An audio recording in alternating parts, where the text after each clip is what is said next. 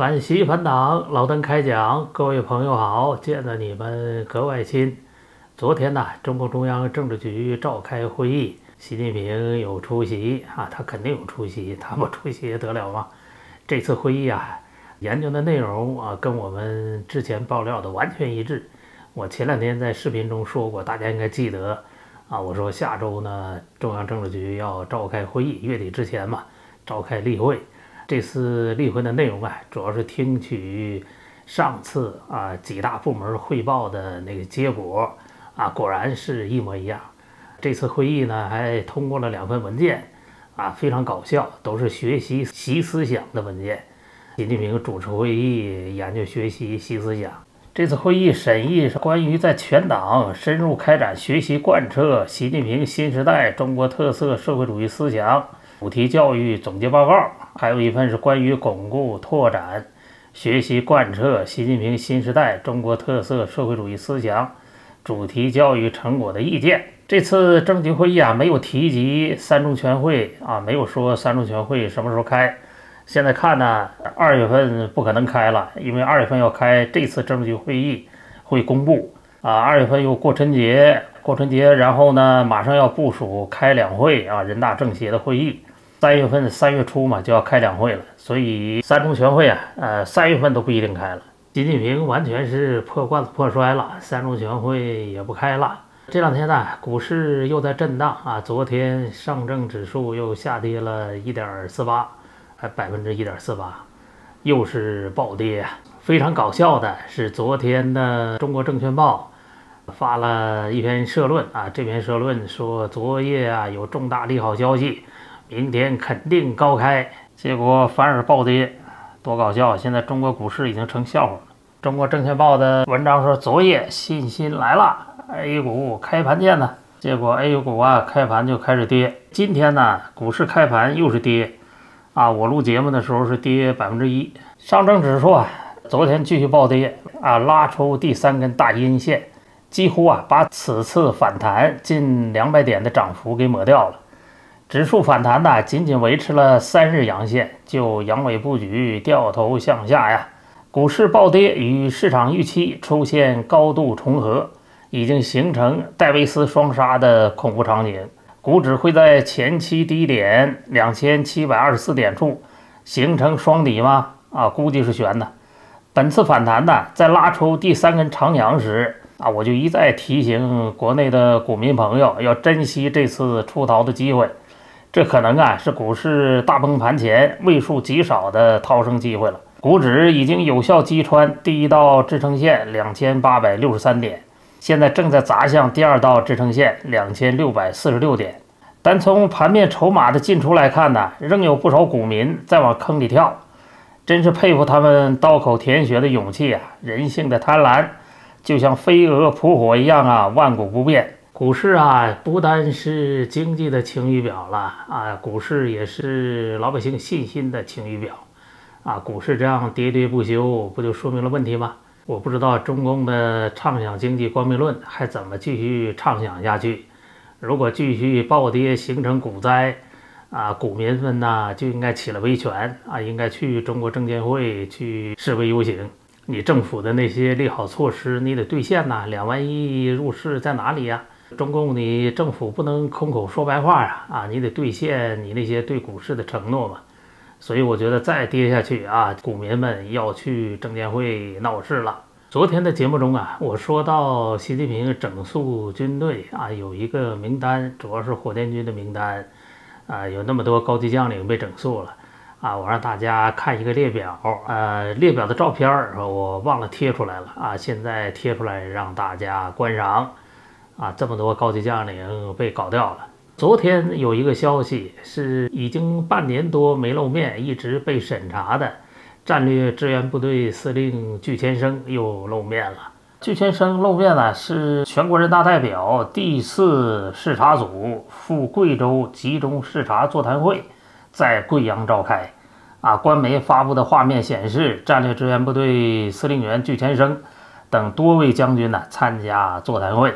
此前一直有媒体报道称，具千生卷入火箭军腐败案，啊，长达半年受审查，没有公开亮相。爆料消息说呢，此次巨先生露面呢，是习近平向军头们妥协的又一体现啊。许其亮露面，巨先生露面，这是习近平整肃军队遇到挫败的表现。军队内部啊，中共军队高层传出的爆料消息说呢，现在习呀都不是四面楚歌了，楚歌还好一点儿，大家唱唱歌吓唬你一下，他是十面埋伏了啊，就是这些老军头都已经把他围起来了，埋伏在这儿准备干掉你了。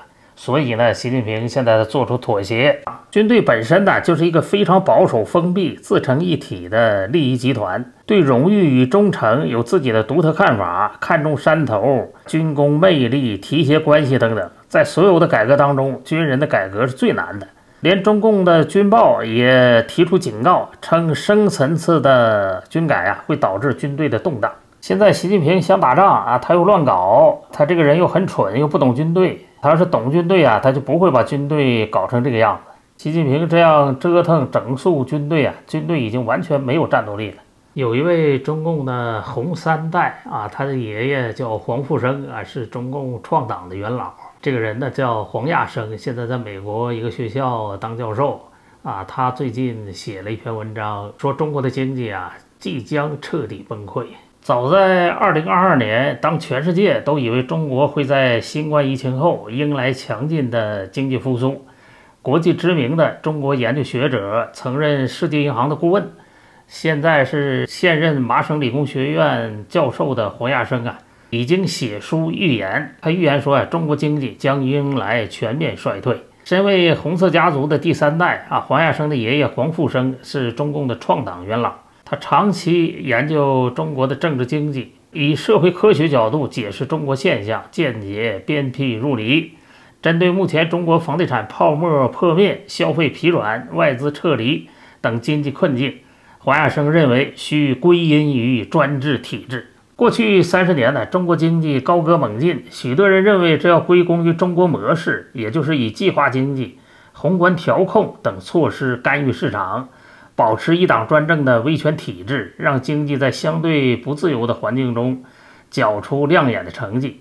但是黄亚生认为啊，其实中国模式并无特别之处，归根究底是民主自由体制有利于经济发展，专制体制则不然。黄亚生观察，专制体制下的中国之所以取得经济上的成功，是因为向外汲取了民主自由体制的有利条件。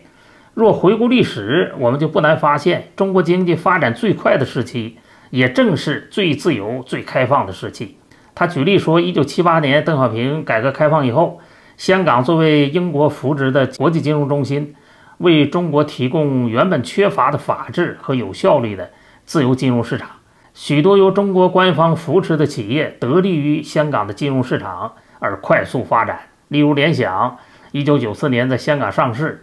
因此，在创立、扩张时期都能够取得足够的资本，这在中国本身的体制下是不可能发生的。此外，国际合作也解放了中国的科技发展。例如，原本采用上对下管理的中国大学，因为与美国大学合作而享有学术自由。这是为什么没有言论自由的中国大学，还是能够取得很多科技方面的进展。许多中国的科技公司也在此时期走向国际市场，例如华为。很多人认为华为是靠中国政府扶植、政策补贴的公司，但你仔细看历史，华为许多早期的成功都是在海外。它是中国最有国际合作精神的企业。简言之，黄亚生认为中国经济并非受益于专制政府的干预措施，而是借用了西方的民主法治体制。自由金融市场以及产业合作、学术合作而得到成功。中国的成功是开放的成功，是改革的成功，是在国家权力减少的情况下的成功，而不是在国家权力增加的时候的成功。厘清了这一点呢，如今中国陷入经济困境的原因也就呼之欲出。在习近平的领导下，中国在政治和经济上都正在走回封闭的路线。一连串历史的偶然呢？让习近平领导下的中国走回专制的老路，在这条路上，中国能走多远不得而知。唯一可以预期的，啊，是在专制体制下的中国经济将持续走向崩溃。十一月份呢，美国将迎来总统大选，到现在还有十个月。如果是川普重新上台，世界的格局啊将会重整。川普上台啊，会是中共的噩梦。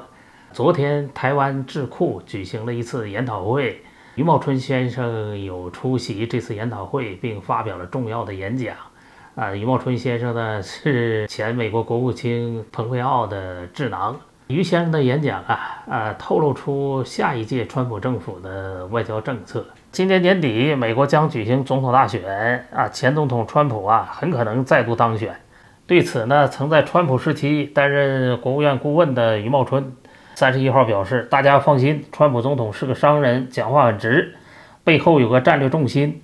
五十年后，我们再来看，川普最重要的外交成就，就是把战略中心从欧洲、中东转到对中国。”并重新界定中国对全球性的威胁。余茂春先生说呀，最近美国对华政策的改变，大家一开始呢以为川普的谈话是情绪性的谈话，这是不对的。对于台湾疫情的处理啊，他认为台湾的处理啊是全世界的典范，而台湾的选举，他认为也可以教美国人怎么办选举。例如，当时美国人制定选举法律的时候啊，是农业社会选在星期二投票。啊，因为星期日要休息去教堂嘛。但台湾呢选在星期天，台湾对世界影响力远远超过它的面积。啊，余茂春先生说呢，川普上台后，美国的政策为什么变化那么大？美国对台政策的制定是一九五零年六月二十六号的韩战开始，杜鲁门总统派第七舰队进入台湾海峡，也就是不能用武力改变现状。任何总统在这上面呢是不可能改变。他认为啊，大家要有信心啊，不管是哪个总统上台。余茂春说呢，川普总统啊是个商人，不管程序，最在乎效果啊。对于伊斯兰国的议题啊，当时川普就对国防部长说：“你把 IS 消灭掉。”川普认为啊，除了对他的贸易谈判不要过分插手外，国务院的对华政策怎么改啊，他都不管。所以呢，蓬佩奥和他们就大胆的干，没有白宫施加任何阻力。余先生表示啊。川普时期的美国政府最重要的外交成就，就是重新界定全球对中国这个国家的定义。啊，它已经不是传统的地区性威胁，而是全球性威胁，包括不仅威胁台湾，威胁周边国家，也打破国际现存秩序，也就是技术上、军事上、经济上摧毁美国的战略领先地位。这个战略意图啊非常明显。最重要的是，中国是专制政权，因此啊，台湾的选举对中国的影响相当大。于先生还说呢，过去美国是以人人生而平等的建国理念，让中共进入世贸组织，参与国际经济，希望共产主义能够变成自由化。但是这个幻想啊，已经彻底破灭。但美国呢，从卡特开始都没有一个总统有勇气改变这个政策，只有川普总统才有勇气重新定义中国在世界地缘政治中的地位。余茂春表示，中共是想制造全世界对他的经济政治依赖。例如“一带一路”等等，但他认为啊，中国对美国的需求是远大于美国对中国的需求。对于川普如果今年再度当选，对美台关系有什么影响？余茂春说呢，大家放心，还不会有什么影响。川普总统说话很直，但是他很直啊，他都是有一个非常重要的战略考量。他说呀，大家不要觉得川普说话没有边际，但实际上啊，他背后有很多参谋啊，这些参谋啊给他出了非常好的主意。余茂春说呢，五十年之后，我们再来看川普时期的最大的外交成就，就是美国把战略中心从欧洲、中东迁到了中国，使美国呀能够倾尽全力来对付中共。今天在我们加拿大呀有一个重要的新闻啊，是加拿大政府驱逐了一个中国女间谍，这个女间谍叫张静，她是中国侨办啊派到加拿大来的，这是加拿大政府啊。近年以来啊，公开驱逐的中共的间谍，这好像是第一人，显示了加拿大政府对中共在加拿大呀进行间谍活动的义愤。因为加拿大政府啊认定中国政府从事危害加拿大利益的间谍行为，而该女子的工作帮助了中共对华人社区的监控和威胁。所以啊，中共政府不要小瞧加拿大政府啊！加拿大政府的安全保卫部门也不是吃醋的，加拿大的安全机关呢，维护加拿大的安全这个决心是非常坚决的，这个我是了解的非常清楚。而且最近呢，有一条消息是中共勾结当地的黑帮啊，企图对我个人不利啊。这个消息已经被安全部门监测到了，此事正在调查当中啊。一旦查实啊。加拿大警方一定会重拳出击，加以处理。我不一再讲吧，我这么大年纪了，不怕中共跟我玩什么歪的邪的啊！我现在只怕床灭，而且床灭之前呢，我的小黄书啊，有几本一定会及时抛出来，你们放心吧。